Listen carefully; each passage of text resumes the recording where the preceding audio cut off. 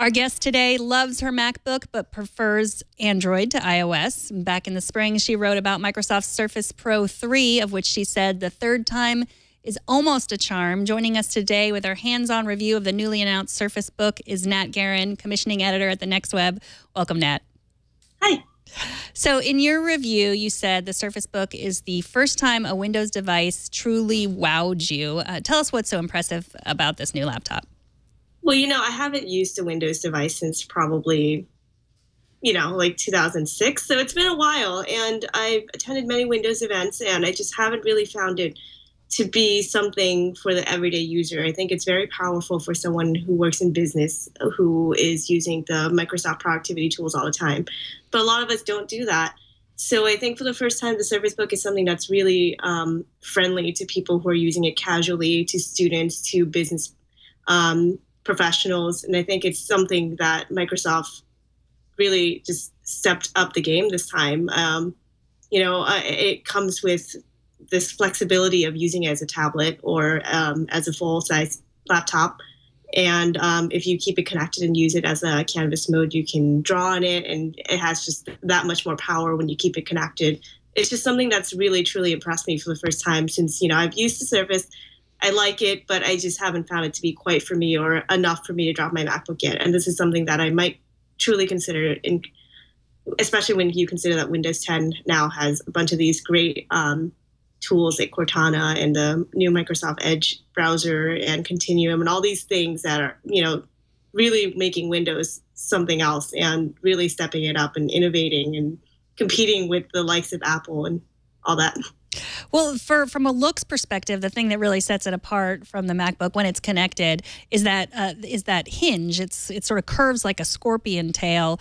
Um, mm-hmm. From when you were looking at it and playing with it, uh, does it look like something could get stuck in there? That that's what it looks like to me. It uh, it does, but you know, I don't think it, more stuff would be stuck in it than my regular MacBook. You know, my MacBook has a regular hinge with the little um, slot in the middle, and I you know get somewhat some dust in there when I'm traveling with it. And I don't think that anyone would get a different amount with that hinge. You know, if you keep your um, gadgets clean enough, keep it clean, wipe it down every now and then. I don't really see that being a much bigger problem than any other kind of laptop design out there.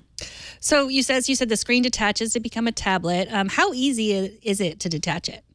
There's a button that you have to push. Um, there's a really tiny button, kind of like an eject button, that you hold, and it, it turns green. And then when it's green, you can just pull it apart which I think is great. You know, some people um, might be used to the Surface Pro where you can just kind of pull apart the type cover from the keyboard. And I think it's a lot better and more secure that the Surface Book has that button. So, you know, if you're tossing it around or you're traveling, it doesn't just come apart. So, yeah, it doesn't pull right off, but there's a little button, and I think it works great. So it wouldn't just fall off as you were carrying it. It's not that easy to detach. No, it's. Um, I, I, find that the Surface Pro cover has a lot of it. You know, you tug it a little bit and it'll come apart, but this one needs a button to pull apart, so it's gonna stay secure. So you mentioned that it has an eight megapixel rear camera without a flash and a five meg- megapixel front shooter. Would you really envision taking photographs with this? You know, I've never been a, the kind of person to take photos with tablets anyway, but I thought it was interesting because since you can flip the um, tablet around and have it kind of in the canvas mode. So, you know, the, the front of the screen is facing you and the back of the screen with the rear shooter is facing away from you. You can live stream that way. You know, you can maybe stream from in front of you and still use Skype and, you know, the camera in front. I don't know that you can use both cameras simultaneously. I haven't tested that out yet. But I think it's kind of interesting because you can then live stream from a laptop and have it kind of sitting and facing it in opposite direction, you're still using the screen for something else, which I think opens it to a lot more possibilities in terms of camera use. And so, what did you think of the Surface Pen? Um, you know, last year I remember, and I got a lot of heat for this. They're saying that um, the Surface Pen seemed a little silly for fifty dollars, but you know, the more I've used it, the more I realize that it's very powerful. The sensitivity is incredible. I've you know been sketching a lot with it. I have a really great time using the paint application and just drawing with it. And using OneNote really does feel as close to writing to paper as the stylus come. And um, this year now they've introduced five different colors and new pen tips, which you know won't is not the biggest deal for someone who just kind of wants a stylus. But if someone is really into art or design or um, sketches a lot or is an architecture uh, architect and needs that kind of feel, I think that's nice that Microsoft offers that option. It's not going to be for everybody. Is it still fifty dollars the newest Surface Pen? Um, I don't know, but I assume it will be. Um, I haven't double checked that yet.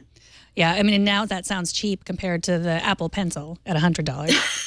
Absolutely, and you know there was a lot of um, Apple disc going on at the event as well. You know, they said that the new pen now has an eraser mode, and they did a little dig at Apple about how their pencil does not have a pencil. So you know, a lot going on today.